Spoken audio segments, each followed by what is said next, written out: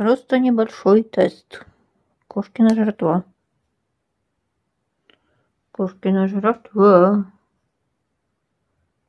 Целых 35 минут до конца этого дня, чтобы еще успеть в этот день. Ну, короче, в общем, это типа как бы тест камеры. Я там сейчас да, вот э, выложила.